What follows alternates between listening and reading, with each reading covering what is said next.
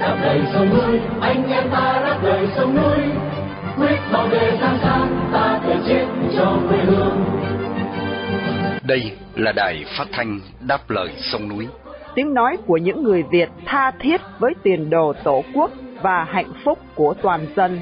Do lực lượng cứu quốc thực hiện, phát thanh mỗi ngày từ 7 giờ 30 đến 8 giờ tối, giờ Việt Nam. Trên làn sóng ngắn 9.670 km chu kỳ.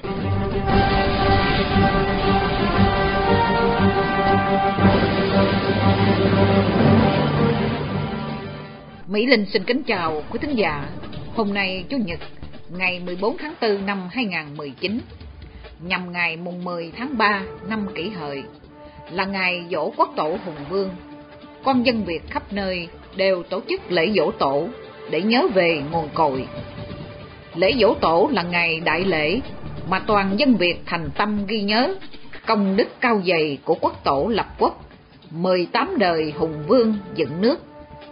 Quốc tổ là biểu trưng cho tinh thần, cho sức sống, cho hồn thiên sông núi, là nguồn gốc, là niềm hy vọng và là tụ điểm của toàn dân.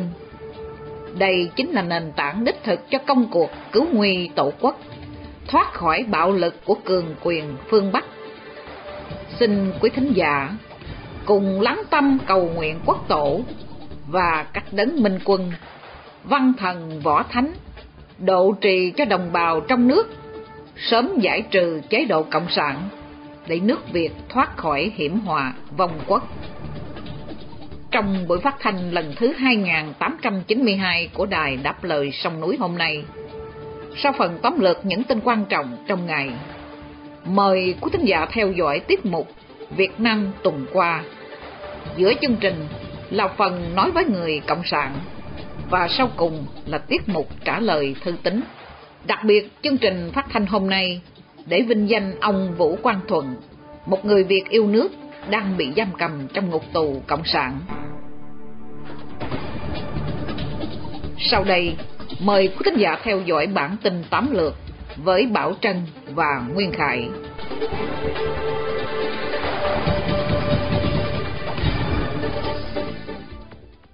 Cô Đoàn Thị Hương sẽ được trả tự do vào ngày 3 tháng 5 sắp tới.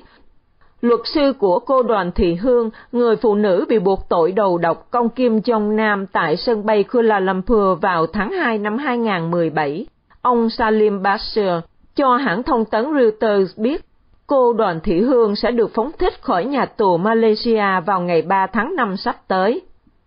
Cô Hương đã được các công tố viên Malaysia hủy bỏ cáo buộc giết người hồi đầu tháng 4, sau khi cô nhận tội gây tổn hại đối với nạn nhân. Cô bị kết án hơn 3 năm tù, nhưng thời hạn sau đó đã được giảm xuống vì luật pháp Malaysia có thể cho phép xóa một phần ba án tù. Người đồng phạm với cô Hương là cô City Asia đã được trả tự do vào tháng 3 sau khi các công tố viên cũng bãi bỏ tội danh giết người đối với cô. Các luật sư bào chữa lập luận rằng hai người phụ nữ này là những con tốt thí trong một vụ ám sát được dàn dựng bởi các đặc vụ Triều Tiên. Những người phụ nữ nói họ nghĩ rằng họ tham gia một trò chơi trên truyền hình và không biết họ đang đầu độc ông Kim. Ông Phạm Nhật Vũ bị bắt vì đưa hối lộ, hai cựu Bộ trưởng Thông tin và Truyền thông bị khởi tố vì nhận hối lộ. Thứ Sáu, ngày 12 tháng 4, cơ quan cảnh sát điều tra thuộc Bộ Công an ra quyết định khởi tố và bắt tạm giam ông Phạm Nhật Vũ, 47 tuổi, chủ tịch công ty cổ phần nghe nhìn toàn cầu, để điều tra cáo buộc tội hối lộ. Đồng thời, cơ quan cảnh sát điều tra cũng quyết định khởi tố hai cựu Bộ trưởng Thông tin và Truyền thông là Nguyễn Bắc Son và Trương Minh Tuấn về tội nhận hối lộ theo Điều 354 Bộ Luật Hình sự 2015. Cả hai bộ trưởng này đều đã bị khởi tố và bắt giam từ hôm 23 tháng 2 với cáo buộc vi phạm quy định về quản lý và sử dụng vốn đầu tư công gây hậu quả nghiêm trọng theo Điều 220 Bộ Luật Hình sự 2015. Cũng ngày 12 tháng 4, Bộ Công an cũng khởi tố thêm tội danh nhận hối lộ đối với ông Cao Duy Hải, cựu Tổng Giám đốc Mobile Phone, và ông Lê Nam Trà, cựu Chủ tịch Hội đồng Thành viên, cựu Tổng Giám đốc Mobile Phone. vụ mobile phone mua 95% cổ phần của công ty cổ phần nghe nhìn toàn cầu hồi năm 2016 gây thất thoát hơn 7.000 tỷ đồng của nhà nước là một trong những vụ án tham nhũng lớn được chú ý tại Việt Nam trong những năm qua và đã được Ban Bí thư Đảng Cộng sản xác định là vụ việc rất nghiêm trọng, phức tạp và nhạy cảm. Người sáng lập Wikileaks đã bị bắt tại Anh và có thể bị dẫn độ về Mỹ. Thứ năm 14 tháng 4, ông Julian Assange, người sáng lập Wikileaks, đã bị cảnh sát Anh đưa ra khỏi đại sứ quán Ecuador ở London và bắt giữ sau khi bị chính phủ Ecuador chấm dứt quy chế tị nạn 7 năm trong tòa đại sứ Ecuador tại Anh. Chính phủ Mỹ đã gửi cho nước Anh lệnh bắt giữ tạm thời ông Assange để dẫn độ ông về Mỹ. Ông Assange bị cáo buộc là vào tháng 3 năm 2010 đã bẻ khóa mật khẩu và xâm nhập bất hợp pháp vào các máy tính của Bộ Quốc phòng Hoa Kỳ, rồi công bố lên Wikileaks hàng trăm ngàn báo cáo quân sự và điện tính ngoại giao của Mỹ. Chính phủ Anh yêu cầu, trong vòng 60 ngày kể từ khi cảnh sát Anh đưa ông Assange ra khỏi đại sứ quán Ecuador ở London, nơi ông vào tị nạn 7 năm trước, chính phủ Mỹ phải nêu rõ tất cả các cáo buộc pháp lý mà ông Assange sẽ đối mặt nếu ông bị chuyển sang Mỹ giam giữ. Mỹ chế tài thêm 4 công ty vận tải, 9 tàu chở dầu từ Venezuela. Thứ Sáu ngày 12 tháng 4, Mỹ thông báo sẽ đưa vào danh sách đen để chế tài 4 công ty vận tải và 9 tàu vận chuyển dầu từ Venezuela đến Cuba và một vài quốc gia khác. Ông Steven Mnuchin, Bộ trưởng Tài chánh của Hoa Kỳ nói, ngành dầu khí của Venezuela tiếp tục cung cấp phao cứu sinh cho chế độ bất chính danh của Tổng thống Venezuela Nicolas Maduro. Dầu của Venezuela thuộc về người dân Venezuela không thể được sử dụng như một công cụ mặc cả để chống lưng cho những kẻ độc tài và kéo dài sự áp bức. Tuần trước, Bộ Tài chánh Mỹ áp đặt chế tài lên 34 tàu thuộc công ty dầu khí quốc danh của Venezuela và lên hai công ty và một tàu vận chuyển dầu cho Cuba vào tháng 2 và tháng 3. Ngoại trưởng Mỹ Pompeo tuyên bố Mỹ sẽ không từ bỏ cuộc chiến ở Venezuela. Thứ Sáu 12 tháng 4, chuyến công du 3 ngày đến Chile, Paraguay và Peru, Ngoại trưởng Mỹ Mike Pompeo tuyên bố tại thủ đô Santiago của Chile rằng Hoa Kỳ và các đồng minh sẽ không từ bỏ cuộc chiến ở Venezuela và Mỹ sẽ tiếp tục ủng hộ người dân Venezuela dũng cảm đứng lên giành dân chủ cho quê hương. Chủ nhật 14 tháng 4, ông Pompeo sẽ đến thăm Cucura, một thành phố của Colombia giáp biên giới với Venezuela đã tiếp nhận đông đảo người dân Venezuela vượt biên sang để thoát khỏi nạn đói và bạo lực ở quê nhà. Kim Jong-un đặt điều kiện cho thượng đỉnh Mỹ Bắc Hàn lần thứ ba Thứ Sáu ngày 12 tháng 4, lãnh đạo Bắc Hàn Kim Jong-un phát biểu trước Quốc hội rằng ông sẵn sàng gặp Tổng thống Hoa Kỳ lần thứ ba với điều kiện là Hoa Kỳ phải đến bàn đàm phán với thái độ tử tế. Mỹ cần từ bỏ cách tính toán hiện nay và phải đề cập đến các cuộc đàm phán theo cách khác. Kim Jong-un tuyên bố như trên sau khi Tổng thống Donald Trump khẳng định là muốn gặp lại Kim Jong-un. Phát biểu trên, muốn nói đến những đề xuất được phía Mỹ đưa ra ở Hà Nội và bị Bình Nhưỡng đánh giá là hoàn toàn bất khả thi. Đó là, Tổng thống Donald Trump đã trao cho lãnh đạo Kim Jong-un một tờ giấy đề nghị Bắc Hàn chuyển hết cho Mỹ vũ khí và nhiên liệu nguyên tử của họ. Trung Quốc cảnh báo Úc tại WTO về việc hạn chế đối với công nghệ 5G. Thứ Sáu 12 tháng 4, tại Tổ chức Thương mại Thế giới WTO, Trung Quốc nói với Úc rằng hạn chế của Úc đối với công nghệ viễn thông 5G của Trung Quốc rõ ràng có tính cách phân biệt đối xử và dường như vi phạm các quy tắc thương mại toàn cầu. Vì theo quy định của WTO, các quốc gia thành viên không được phép phân biệt đối xử giữa các đối tác thương mại và từ chối nhập khẩu từ một quốc gia cụ thể. Tháng 8 năm ngoái, Úc cấm công ty công nghệ Huawei cung cấp thiết bị cho mạng di động 5G. Viện dẫn những rủi ro an ninh quốc gia, Huawei chỉ trích bước đi này là mang động cơ chính trị.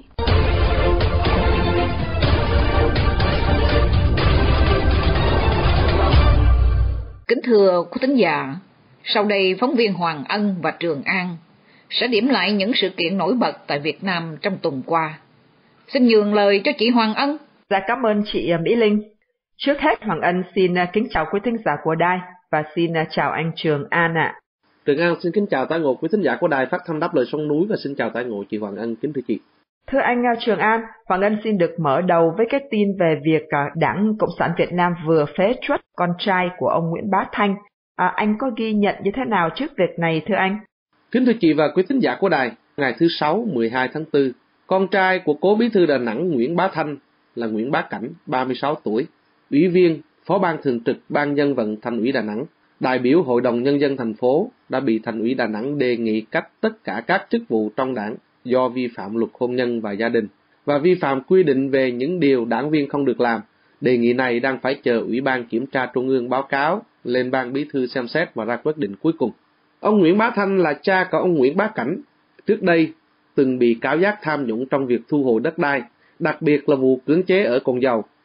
Như chúng ta đã biết, ông Cảnh là con của ông Nguyễn Bá Thanh, từng là bí thư thành ủy, ủy viên Trung ương Đảng, trưởng ban nội chính Trung ương. Ông Thanh là người từng được xem là nổi tiếng nhất và uy quyền nhất ở thành phố Đà Nẵng trong giai đoạn sau đổi mới năm 1986, được biết đến do nhiều người mến mộ và coi là công đầu giúp thay đổi toàn diện của thành phố Đà Nẵng. Nhưng ông cũng gặp tai tiếng do bị cáo giác tham nhũng trong việc thu hồi đất đai, đặc biệt là vụ cưỡng chế cồn dầu. Dạ vâng, à, ngoài việc cách chức con trai ông Nguyễn Bá Thanh, thì theo Hoàng Ân được biết, một vụ việc nữa cũng đang được người dân trong nước xôn xao bàn tán. À, đó là chuyện em trai ông Phạm Nhật Vượng, người được cho là giàu có nhất Việt Nam, đã bị bắt vì tội hối lộ. À, anh có thể nói rõ hơn về việc này được không anh à, Trường An?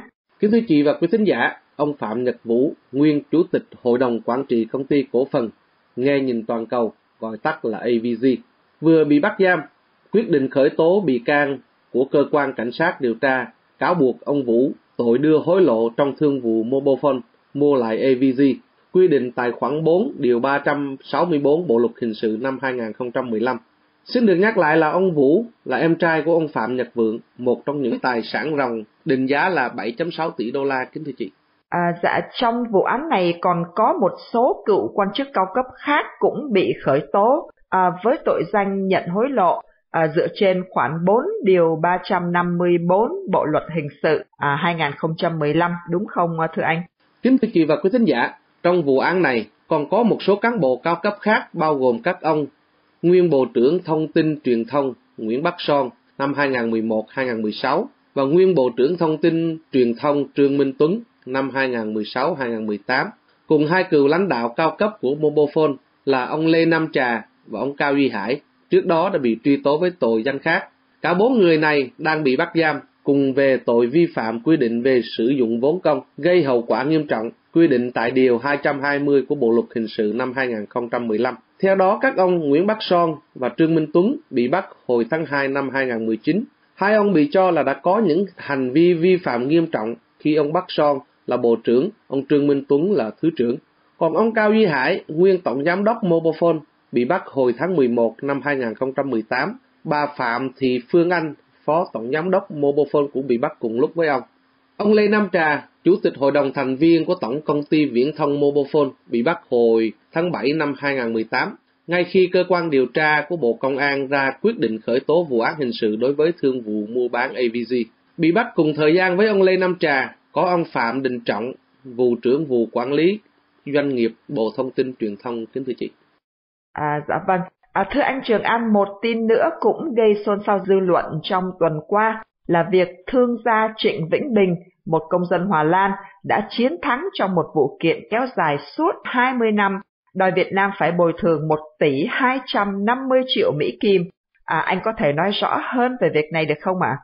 Kính thưa chị và quý thính giả của đài, theo phán quyết của tòa trọng tài hôm thứ Tư ngày 10 tháng 4, phía bạo quyền Việt Nam cũng phải trả án phí tới hơn 45 triệu Mỹ Kim cho cả hai bên. Phát biểu sau khi có phán quyết, ông Bình nói nhà cầm quyền Việt Nam là phải cẩn thận, không nên tịch thu tài sản của người khác một cách vô tội vạ. Xin được nhắc lại là vào năm 1987, ông Trình Vĩnh Bình mang tiền về Việt Nam đầu tư theo lời kêu gọi của Thủ tướng Võ Văn Kiệt. Đến năm 98, Bảo quyền Việt Nam bắt giam ông với cáo buộc hối lộ và vi phạm quyền sở hữu đất đai. Năm 1999, ông Bình bị tuyên án 11 năm tù và bị tịch thu toàn bộ tài sản. Năm 2000, ông trốn thoát về lại Hòa Lan và đến năm 2003, ông bắt đầu khởi kiện nhà cầm quyền Việt Nam tại Trung tâm Trọng tài Thương mại Stockholm, Thụy Điển, đòi bồi thường 150 triệu đô la. Phía Việt Nam chấp nhận bồi thường nhưng suốt mấy năm vẫn không trung tiền, khiến ông đệ đơn kiện lên lần thứ nhì vào năm 2014 và số tiền đòi bồi thường lên đến 1 tỷ 250 triệu Mỹ Kim kính thưa chị. À dạ vâng, cảm ơn anh à, Trường An. Hoàng Ân cũng xin à, cảm ơn quý thính giả đã lắng nghe và xin hẹn gặp lại trong chương trình tuần tới. Và một lần nữa Trường An xin chào tạm biệt quý thính giả của đài và xin chào tạm biệt chị Hoàng An.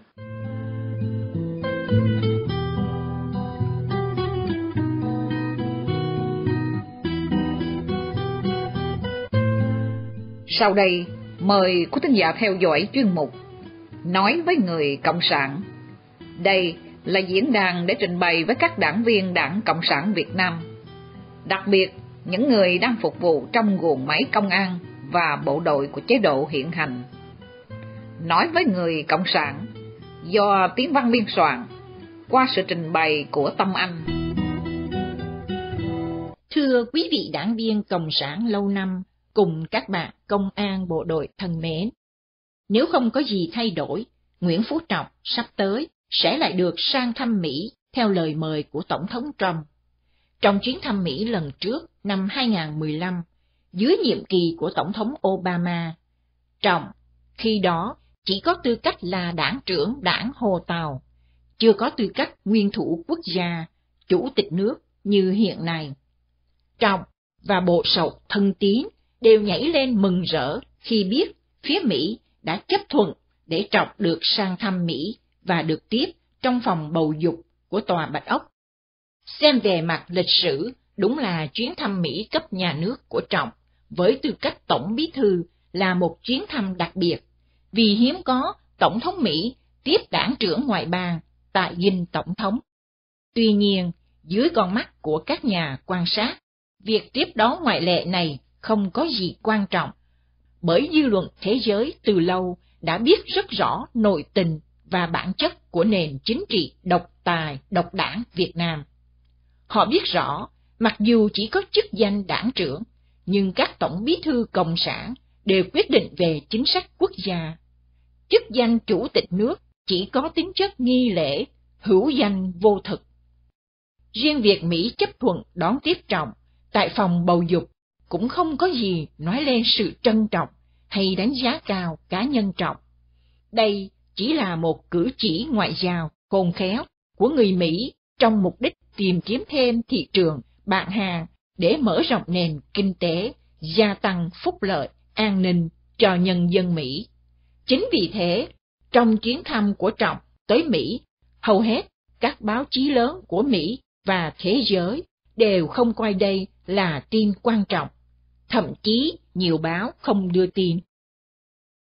Tương tự chuyến thăm Mỹ tháng 3 năm 2018, Trọng lại được Tổng thống Pháp Macron chấp thuận tới thăm Pháp và được mời vào dinh Tổng thống Pháp Điện Élysée. Mặc dù Trọng chỉ có tư cách đảng trưởng, tổng bí thư, nhưng báo chí, truyền hình Pháp cũng thờ ơ, không có một dòng tin, hình ảnh về Trọng trên các báo, truyền hình lớn của Pháp. Nhục nhã hơn, chính Trọng và Bộ sầu phải chi hơn 4 tỷ đồng Việt Nam để thuê báo Le Monde cho đăng một bài viết trên trang chỉ dành cho quảng cáo nhằm gây sự hiểu lầm về mức độ quan trọng của trọng. Tuy nhiên, sự trí trá này đã bị các nhà quan sát lật tẩy ngay khi bài quảng cáo xuất hiện. Trước sự thờ ơ, khinh bỉ của dư luận quốc tế và những bàn tán, xì xào chế giễu trong dư luận Việt Nam về việc Trọng đã được Tổng thống Mỹ và Tổng thống Pháp ưu ái cho đặt cách. Trọng và Bộ Sậu sau đó đã quyết tâm cướp chức danh Chủ tịch nước từ tay Trần Đại Quang, vừa để thâu tóm quyền lực theo gợi ý của Bắc Kinh, vừa để về mặt chính danh không còn phải băn khoăn, lo lắng hay xin xỏ nghi lễ nguyên thủ quốc gia mỗi khi Trọng cần đi ra thế giới.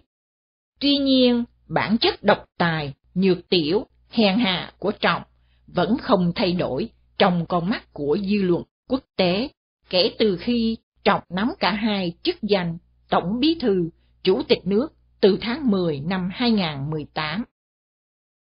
Thưa anh chị em và quý vị, trong con mắt của một số anh chị em chúng ta, Trọng là người nắm quyền lực cao nhất, là kẻ có uy lực nhất trong xã hội Việt Nam. Ngoài chức danh Tổng Bí Thư và Chủ tịch nước, Trọng còn đứng đầu quân ủy Trung ương, nằm trong thường vụ đảng ủy công an Trung ương, và là kẻ đứng đầu cái gọi là Ban chỉ đạo Trung ương về phòng chống tham nhũng. Những điều này có nghĩa Trọng có khả năng điều khiển cả hai lực lượng quân đội, công an và có quyền chỉ đạo, chĩa mũi dùi, phòng, chống tham nhũng vào bất cứ nhân vật nào. Tuy nhiên, thực tế không hoàn toàn và đơn giản như thế, bởi các chức danh và quyền lực mà Trọng đã thiết lập được chỉ là các quyền lực bất chính, nguy hiểm. Về chức danh Tổng Bí Thư, tức đảng trưởng đảng Hồ tào như chúng ta đã biết, để đoạt được vị trí này, Trọng đã phải cam kết phục vụ Bắc Kinh. Để có hỗ trợ loại đối thủ nặng ký là cựu Thủ tướng Nguyễn Tấn Dũng, người đã từng phát biểu trước diễn đàn quốc tế rằng, xin trích, chủ quyền lãnh thổ, chủ quyền biển đảo là thiêng liêng, nhất định không chấp nhận đánh đổi điều thiêng liêng này để nhận lấy một thứ hòa bình, hữu nghị viễn vông, lệ thuộc nào đó. Hết trích.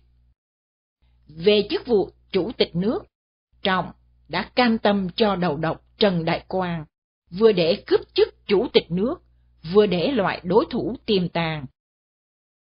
Các chức danh còn lại chỉ là hệ quả tất yếu của các hành động bất chính, hiểm độc vừa kể. Như vậy, trong nội bộ đảng Hồ Tàu, Trọng là kẻ phản nghịch, lên ngôi không phải bằng sự tán thành của các đảng viên, mà bằng sức ép của Trung Cộng và sự thủ tiêu đối thủ. Điều này cho thấy sự lên ngôi của Trọng thực ra là một hành động khiêu khích, gieo rắc thêm sự bất phục và hận thù, tàn nhẫn trong lòng đảng Hồ Tàu. Chính vì thế, ngay sau khi thâu tóm các chức danh cao nhất trong đảng và nhà nước, Trọng đã nhanh chóng cho củng cố, gia tăng thêm sự kiểm soát đối với các lực lượng có tính chất bạo lực, trấn áp, là quân đội, công an và ban chống tham nhũng. Về mặt chính danh quyền lực nhà nước, các quyền lực của Trọng đều là các quyền lực dựa trên sự cưỡng bức, lừa dối nhân dân. Bởi dưới chế độ cộng sản, nhân dân ta chưa bao giờ được cầm lá phiếu đúng nghĩa, bầu lên các chức danh quản lý nhà nước đó.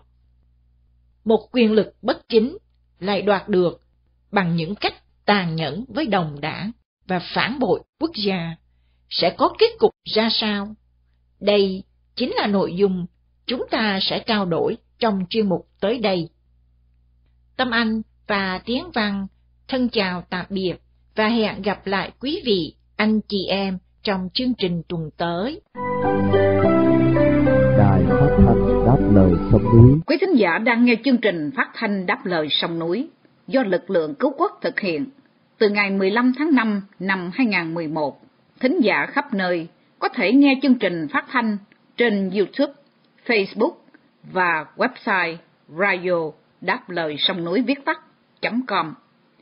Thính giả tại Hoa Kỳ có thể nghe đài qua số điện thoại 1 425 585 1550 hoặc 1 605 781 9802.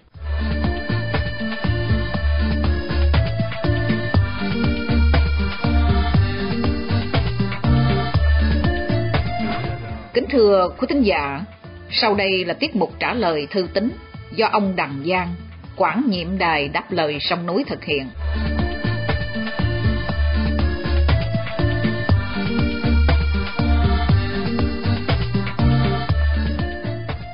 Thưa quý thính giả, trong số các cái thư tín mà gửi vào đài trong Hai tuần qua thì cái vụ mà Nguyễn Hữu Linh, cựu phó viện trưởng Viện Kiểm soát Nhân dân Đà Nẵng sàm sỡ với một bé gái trong thang máy vào cái tối ngày 1 tháng 4 vừa qua đó là cái sự kiện được khá nhiều quý thính giả quan tâm. Nhiều cái thính giả chia sẻ liên quan đến vụ này là cái sự lo ngại của các cái cơ quan chức năng sẽ bao biện cho nhau để bênh vực làm giảm tội cho ông Linh thủ phạm cái vụ này. Trong những thư ấy thì chúng tôi nhận được thư của cô Hoàng Oanh ở Thủ Đức. Cô viết cô đoạn như sau. Tôi rất phẫn nộ trước câu tuyên bố của một quan chức thuộc đoàn luật sư Đà Nẵng là mới chỉ xem qua clip thôi thì chưa đủ để khẳng định điều gì. Sự việc diễn ra rõ như ban ngày vậy mà còn phải điều tra, xác định gì nữa. Rõ ràng đây là dấu hiệu của sự bao che lẫn nhau để chạy tội. Cũng tương tự như vậy thì ờ, bà Hồng Ngọc ở Lạng Sơn đã chia sẻ với chúng tôi có đoạn như sau. Tôi tin rằng cái vụ này rồi cũng sẽ giống như vụ bé gái bị sàm sỡ trong thang máy ở Hà Nội tháng 5 năm 2018. Hình ảnh cũng rành rành ra thế mà thủ phạm chỉ bị phạt 6 tháng tù treo. Với kiểu xử phạt như vậy thì chẳng khác nào khuyến khích cho những kẻ xấu làm bậy. Chấm thàn. Thưa cô Anh và bà Ngọc cùng các thính giả đã có những chia sẻ tương tự. Chúng tôi hoàn toàn đồng ý với cái sự lo lắng của quý vị. Trong một cái chế độ toàn trị như Việt Nam ngày nay thì luật pháp chỉ là cái phương tiện để phục vụ để bảo vệ cái bộ máy thống trị mà thôi. Nói cách khác, cái đối tượng phạm tội quyết định mức cái độ xử phạt chứ không phải là bản chất tội phạm như nguyên tắc căn bản của luật pháp công minh. Cũng liên quan đến cái vụ này đó thì à, một số thính giả đã đề cập đến các cái diễn biến tạm gọi là tích cực. Thì trong ấy chúng tôi thấy có thư của ông Trần Nghĩa ở Quy Nhơn, ông nêu ra như thế này. Tôi rất thích thú khi xem hình chụp thông báo với câu cảnh cáo nhà này có biến thái dâm ô trẻ em dán trên cửa nhà Nguyễn Đỗ Linh. Tôi nghĩ đây là cái hình thức trừng phạt thích đáng đối với tên dâm tặc này. Chấm than. Thưa ông Nghĩa, vâng, đúng như ông nhận xét, cái sáng kiến này rất là đặc biệt và chắc chắn sẽ có cái tác dụng tốt trong cái việc trừng phạt những cái kẻ phạm tội. Quan trọng hơn nữa là cái sự việc này cho thấy người dân không còn tin vào cái hệ thống luật pháp của chế độ và họ tìm cách để thực thi cái công lý của mình. Cũng liên quan đến cái vụ ờ, cựu phó viện trưởng Viện Kiểm soát Nhân dân ở thành phố Đà Nẵng sàm sỡ với một bé gái trong thang máy đó thì chúng tôi cũng nhận được thư của ông Kiều Phong ở Ninh Bình nêu một câu hỏi rất lý thú. Tôi xin trích đoạn đó như sau. Trong thời gian qua, báo chí đảng phanh phui nhiều vụ rất hấp dẫn thu hút dư luận quần chúng nào là vụ mê tín dị đoan ở chùa Ba Vàng, tỉnh Quảng Ninh, vụ nữ sinh tánh hội đồng ở Hưng Yên, rồi là ấu dâm trong thang máy của Nguyễn Hữu Linh. Phải chăng Đảng đang cố tình làm rối dư luận để chuẩn bị bất ngờ tung ra một quyết định nào đó, ví dụ Quốc hội thông qua luật đặc khu, khiến dân chúng trở tay không kịp? Chấm hỏi. Thưa ông Phong, chúng tôi nghĩ rằng cái giả thuyết ông nêu ra không có khả năng xảy ra cao nhà cầm quyền Cộng sản Việt Nam thừa biết rằng cái phản ứng của những người dân qua cái hệ thống mạng lưới xã hội rất là linh hoạt, nhạy bén nên cái phương cách làm rối như ông nghĩ không thể nào đánh lạc hướng hoặc tạo bất ngờ đối với giới sử dụng cái mạng xã hội thông tin hiện nay phản biện. Ngược lại, chúng tôi cho rằng các cái sự kiện ông kể ra chỉ là cái dấu cho thấy sự bại hoại về luân lý, sự xuống cấp đạo đức đã và đang diễn ra đầy rẫy khắp nơi mà nhà cầm quyền muốn che đậy, giấu giếm cũng không được. Điểm quan trọng cần phải nhấn mạnh ở đây là cần phải nhìn rõ cái nguyên nhân của tình trạng suy bại này. Đó chính là cái hệ quả của sự thống trị của Đảng Cộng sản Việt Nam trên đất nước chúng ta trong nhiều thập niên qua. Một cái biến động chính trị tuy vừa mới xảy ra cũng đã được khá đông thính giả quan tâm và chia sẻ với chúng tôi, đó là cái cuộc đảo chính lật đổ chế độ độc tài Sudan. Nhận định về việc này thì chúng tôi nhận được thư của Nguyễn Đình Lâm ở Sài Gòn. Ông viết có đoạn, sau vụ dân chúng Algeria loại bỏ Tổng thống Bouteflika thì nay đến phiên dân chúng Sudan lật đổ Tổng thống Omar al-Bashir sau gần 30 năm thống trị quốc gia Phi Châu này. Các vụ việc này cho thấy ngày tàn của chế độ độc tài, trong đó có cả chế độ độc tài Cộng sản Việt Nam không còn xa. Trong khi đó thì bà Nguyễn Thị Hiền ở Hải Phòng đã có một cái nhìn dày dặn hơn và viết như sau. Tôi nghĩ nội tình Việt Nam khác xa với Algeria và Sudan. Điểm khác biệt quan trọng nhất là sự thống thuộc của lực lượng quân đội, tức là cột trụ chính yếu chống đỡ cho chế độ độc tài. Tại Việt Nam, lực lượng này là một công cụ của Đảng Cộng sản hoàn toàn do Đảng kiểm soát. Cho nên sẽ luôn luôn trung thành với tập đoàn thống trị đất nước, còn ở Algeria và Sudan thì quân đội là một thế lực riêng biệt nên có thể dễ dàng ngả theo lực lượng của dân chúng cách mạng. Thưa ông Lâm và bà Hiền, sự khác biệt bà Hiền nêu ra thì khá chính xác, tuy nhiên, nếu chúng ta phân tích cho kỹ thì Việt Nam cũng có một số yếu tố thuận lợi cho cái việc loại bỏ chế độ cộng sản độc tài toàn trị mà hai nước ở Phi Châu không có. Thí dụ như cái sự kiện mà tập đoàn lãnh đạo cộng sản Việt Nam quá lệ thuộc vào Trung Cộng, kẻ thù truyền kiếp của dân tộc Việt Nam. Cái sự kiện này chắc chắn là một cái yếu tố khiến cho chẳng những dân chúng chán ghét chế độ mà ngay cả một thành phần nào đó trong các lực lượng quân đội cũng khinh ghét, khiến cho cái sự trung thành tuyệt đối không còn nữa.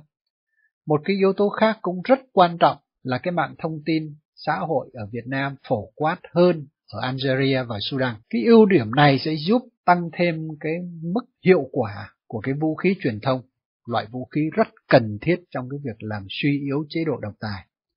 Tóm lại, chúng tôi tin là các cái biến chuyển chính trị tại Phi Châu sẽ tạo thêm cái khích lệ cho người dân Việt Nam để đẩy mạnh hơn nữa cái công cuộc dân chủ hóa đất nước.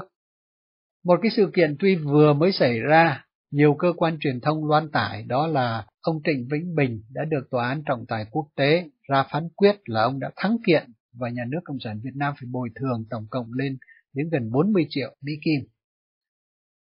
Về sự kiện này chúng tôi nhận được thư của ông Hà Thanh Trí ở Vĩnh Long. Ông nêu lên thắc mắc như sau. Tôi đã theo dõi phiên tòa này từ mấy tháng trước và vẫn chờ kết quả phán quyết tòa này. Nay thông tin từ ông Trịnh Vĩnh Bình và một số cơ quan truyền thông nước ngoài cho biết ông Bình đã thắng kiện, nhưng Bộ Tư pháp Việt Nam lại ra thông báo phủ nhận thông tin này. Vậy xin đài cho biết ai đúng ai sai về thông tin trên.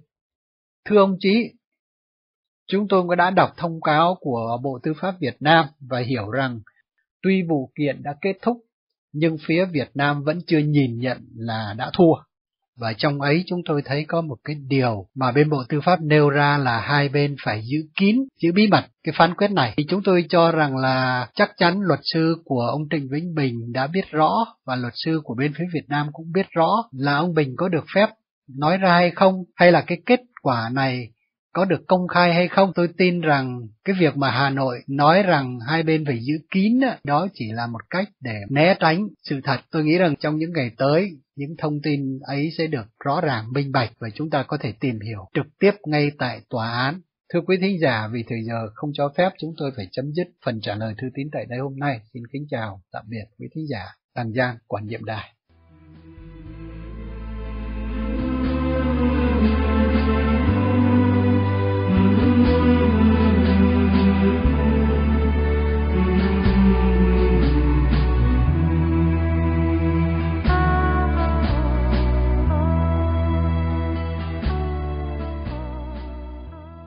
Khi chia tay trong buổi phát thanh tối nay, mời quý thính giả cùng đài đáp lời sông núi, nhớ đến ông Vũ Quang Thuận, sinh năm 1966, bị bắt ngày 31 tháng 3 năm 2017 với bản án 8 năm tù giam. Một người Việt đang bị nhà cầm quyền cộng sản giam cầm trong ngục tù vì lòng yêu nước, lẽ phải và sự đóng góp tích cực vào tiến trình dân chủ hóa Việt Nam.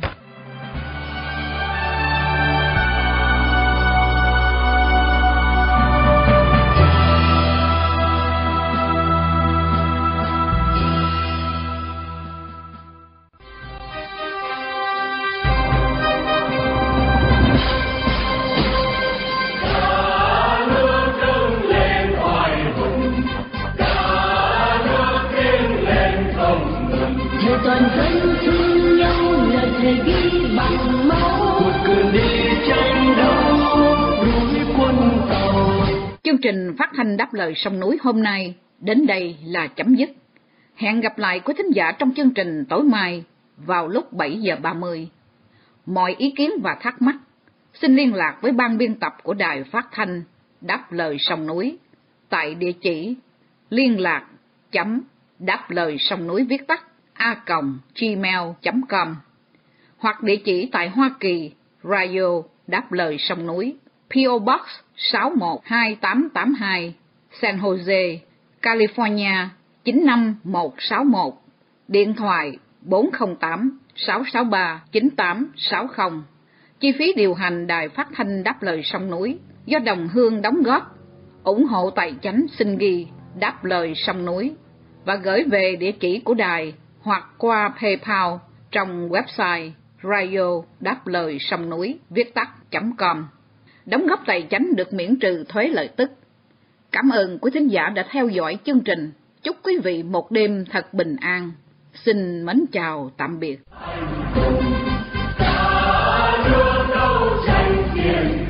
Vì tình yêu non sông, vì tình thương đòi